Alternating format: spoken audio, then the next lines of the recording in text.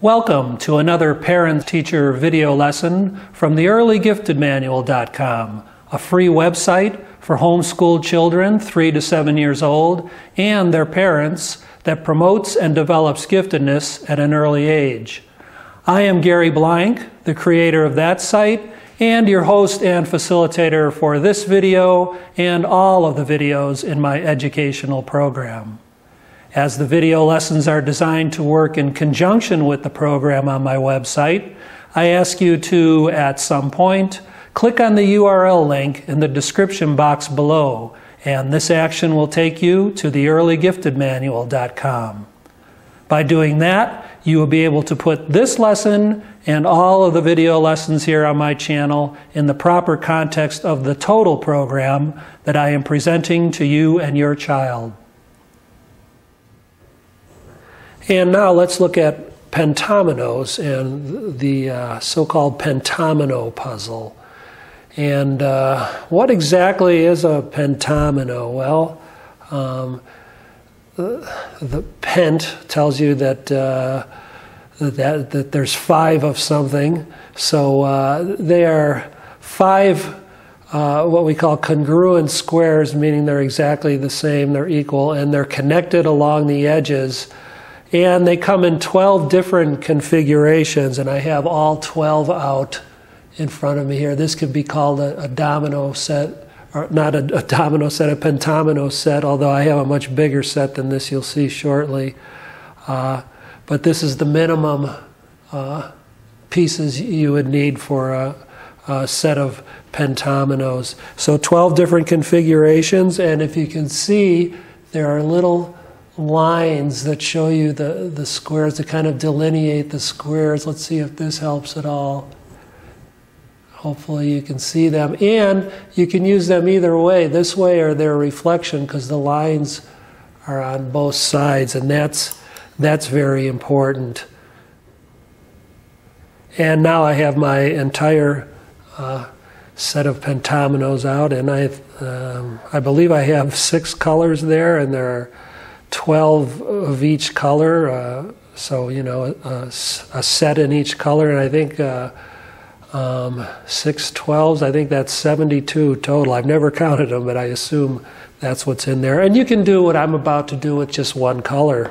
That's okay. But uh, if you have the whole set, that's even better. And this is what I merely call free-form pentominoes. And this is a great, great way to start with, with your child uh, using pentominoes instead of uh, trying to you know fit them into some particular program right away why not just let them experiment with the pentominoes by putting them together like I'm doing right here in different configurations?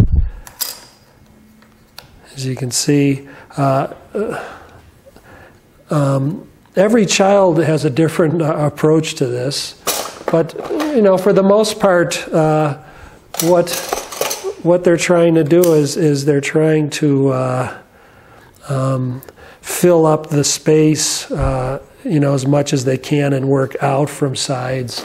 But you never know. I mean, you know. Uh, like I said, every kid has their own approach to this, but you should uh, just disappear for a while. Um, allow them to play around with uh, these pentominoes any way they wish to play around with them. As you can see, I'm just kind of doing a, a random kind of thing here. And uh, hmm, let's see. And I could go on and on and on, but uh, you see what I'm getting at. Freeform, before we get into the puzzle at all, uh, give your child ample time to just uh, mess around, as I like to say, with, uh, with the pentominoes. So, if your child is very advanced in some of the things we've been doing here with these manipulatives and has just excellent spatial intelligence and design intelligence, um, here would be a, a good place to go with the pentominoes. As you see, as you see, I've gone back to just one color, the 12 uh, um, pentomino set. They're all 12 different shaped pieces. And look what I've done here uh, using a map I, because I'm uh, instructing this to you. Um, this is what's called the pentomino puzzle. And the pentomino puzzle is to tile a rectangular box with the pentominoes. So, in other words, you cover, cover that rectangular box without any overlap or any gaps. And uh, needless to say, this is not an easy puzzle. So, um, uh, you know, if you feel your child can can tackle it, great. But if you see frustration, well, um, just tell him or her to, to either keep trying, let it go uh, over a long time, or they will decide if they if they don't want to uh, work on on doing this pentomino puzzle anymore. But here's what it looks like, all finished. And of course, I've, I've relied on my trusty framing square to square it up. So let me pull that away. Makes things a lot easier. And like I said, all of those 12 pieces that I showed you uh, a little a little while ago are all in here in a rectangle. This is a 6 by 10 rectangle, and there are other answers to the, the puzzle. You could also make a 5 by 12 rectangle, 4 by 15, and finally uh, 3 by 20.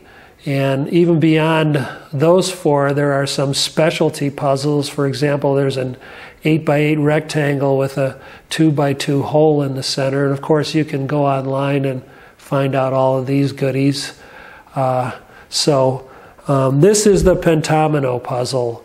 And, uh, you know, I have to tell you once again, um, these, this is for, uh, first of all, a child with a lot of patience, a lot of uh, uh, smarts when it comes to uh, spatial things and uh, putting puzzles together. This could be a great challenge for them, and uh, they could make all four of the, the puzzles that I mentioned, and, and even maybe uh, a few more.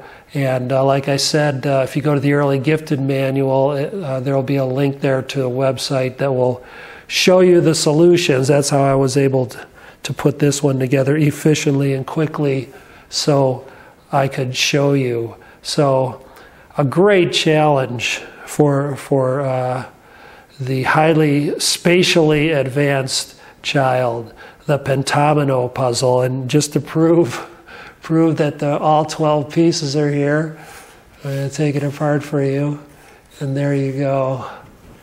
There you go. And here's a construction that I put together, uh, just to give you an example of what might be possible, a possible thing that your child could take on. And as you can see, I've now combined uh, the three manipulatives of color cubes, color tiles, and pentominoes. And as you can see, the results are quite uh, interesting.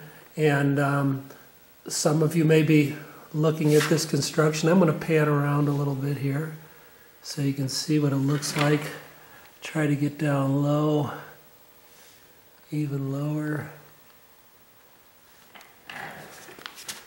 And like I was about to say, some of you might be thinking, well, uh, my child could never do anything like that. Uh, but you may be surprised. Obviously, this is a very challenging activity uh, that requires excellent uh, fine motor control and, um, and a, a, few other understandings, but especially uh, very fine motor control on the part of your child.